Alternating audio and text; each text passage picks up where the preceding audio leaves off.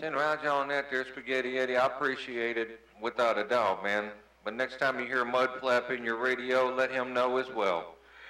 If it wasn't for Mudflap, I wouldn't sound the way I am right now. God bless his soul, without a doubt. Y'all remember that. I should have said that a lot sooner. But uh, next time you hear old Mudflap out of Idaho, let him know, without a doubt. Because if it wasn't for him, I wouldn't be sounding like I do right now. I'm back out. He's got a hunting camp up in Kentucky that he goes up there every year during deer season and stays for uh, a week, a week or ten days. Well, I know a guy that's a doctor, and he goes back into camp, stays for a couple of weeks, takes off from being doctor, and uh, he still goes home. And somebody else shoots his deer for him. Yeah, buddy.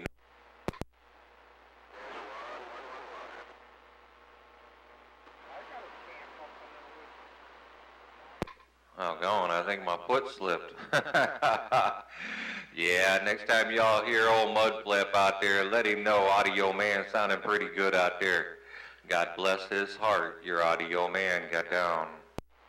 Good afternoon. Somebody shoot my deer for hey, hey, All right.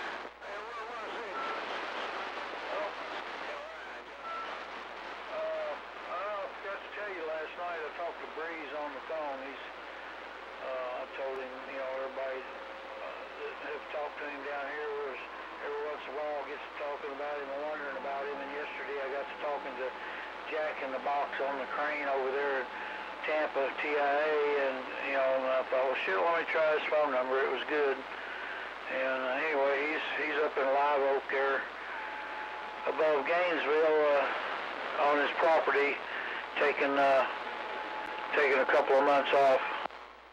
I heard that on taking a couple months off. Audio Man, Becky eavesdropping. two or three days ago and trying to help him straighten out his antenna situation over there.